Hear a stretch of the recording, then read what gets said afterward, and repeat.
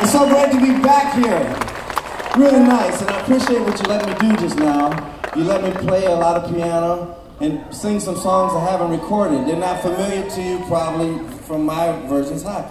Oh, is that a man? That's a mango lemonade. Give me a big hug for that. You, you've given me this three times since I've been here. Oh, come on.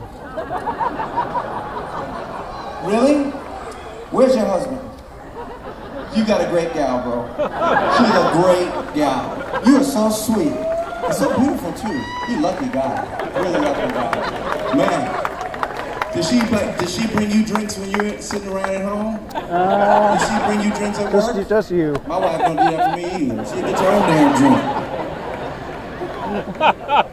My pop can get away with that. My pop can get away with that. He'll tell his wife, Londa, who's my stepmom, who I love very much, he'll say, Londa, would you make me a sandwich, please? And she'll do it. I, I could never do that to her. I could never ask my wife, like, Jill, could you? I just wanted to say you look beautiful to me. You're really so pretty. I'm gonna make myself a sandwich.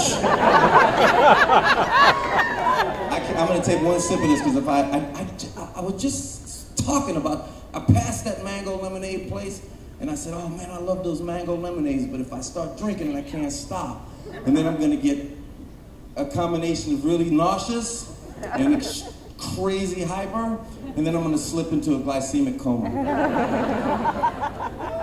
That's really good. No, you would mind that. You, you wouldn't mind the first part, but the glycemic coma would be bad because I would just lay down until somebody came up and revived me, like I'd be a doctor in the house. Thank you. Man, how y'all doing? Thank you. Well, thank you. I appreciate you not filming the show. Uh, you take all the pictures you want. The filming ain't no good. And we on, it's like we're on a date. I feel like we're on a date. And, oh my God, you were here last night. I'm starting to think you're stalking me now. Give me another kiss. This is our fourth kiss. Thank you. Thank you. What is your name? I have to know. Okay. Okay, she said, take my time with it. Thank you for giving me permission to take my time to sign an autograph.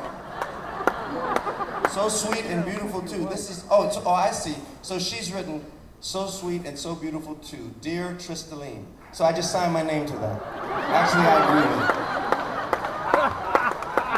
Thank you, Tristaline, who smells of Listerine. She's got lovely breath.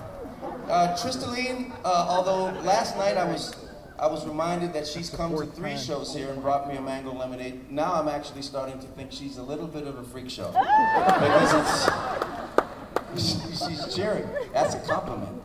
Where I come from, if you call somebody a freak, it's a compliment. And the ultimate compliment is if you call them a high, powerful freak from Bourbon Street. If you're a high, powerful freak from Bourbon Street, you've made it. We've only know one or two. Lucien and I know a couple of high, powerful freaks from Bourbon Street. We even wrote a song about it. I'm not kidding you. I swear. It's called High Powerful Nuclear Freak. Hanging on a Bourbon Street. High, powerful nuclear freak. Now, why is it that you guys are more enthusiastic about that than the last three songs we played. I'm playing my tail off And now y'all get excited when I sing. Okay, and I'm just trying to, I'm trying to read you. I'm trying to read the crowd. I'm gonna have my one sip of this because I can't have more because it would make the show go into a different direction. I'm, i swear I could drink. You could put my, my head under the spigot and I would drink the whole truck full of it. Have y'all tried that stuff, man? That stuff is that stuff is no joke.